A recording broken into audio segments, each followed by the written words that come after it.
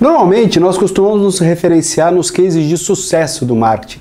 Agora, se tivesse um lugar que traz justamente o contrário, os cases de fracasso, e com vocês, este vai ser o tema abordado hoje.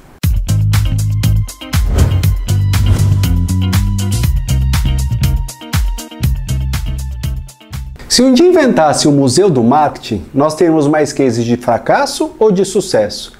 Em relação à lembrança, naturalmente nós vamos sempre nos ater mais aos cases de sucesso.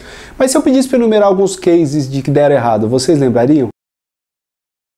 Na verdade, para cada produto de sucesso é bem provável que nós tenhamos tido aí desenvolvidos no mínimo nove produtos de fracasso, que eventualmente chegaram ao mercado e rapidamente caíram no esquecimento. Segundo o nosso mestre Peter Drucker, marketing e inovação são as únicas funções de uma empresa. Nós fazemos marketing para sermos competitivos e relevantes para o consumidor, inovamos para nos diferenciarmos dos nossos concorrentes. O novo museu em Helsborg, na Suécia, está se dedicando a criar um catálogo bastante literal dos maiores erros de marketing e inovação da história do mundo moderno. A iniciativa é do psicólogo Samuel West, que vê o Museu dos Erros como algo necessário para o sucesso. E segundo ele, a inovação exige fracasso e aprender o único processo para transformação no sucesso. E com vocês eu deixo na sequência o próprio Samuel mostrando para vocês algum desses cases de fracasso.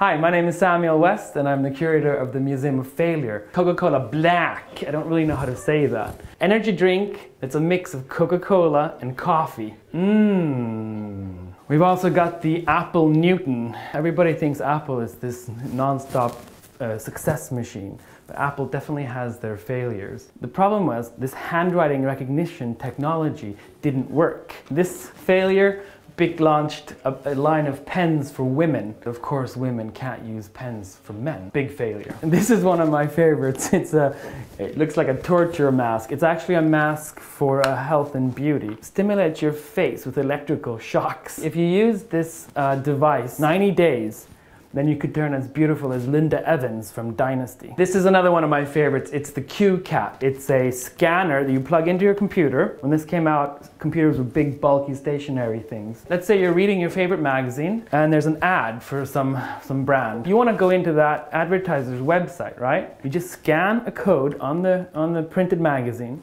and up pops the website.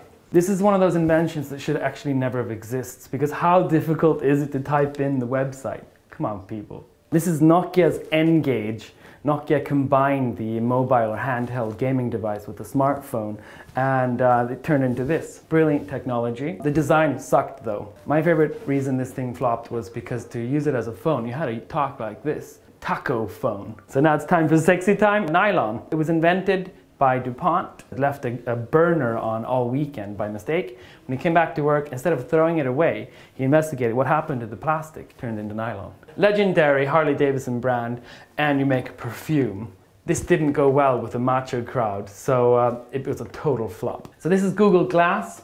Uh, it was a failure because the technology was rather immature, but also because of privacy issues in the San Francisco area, if you went to a cafe once these were released, there were signs saying, if you're wearing Google Glass, you're not welcome. Nobody likes to be filmed without their knowledge. So the purpose of the museum is to show that innovation requires failure. If we're afraid of failure, then we can't innovate. Another reason I've started the museum is so that I want to encourage organizations to be better at learning from failures, not just ignoring them and pretending they never happened.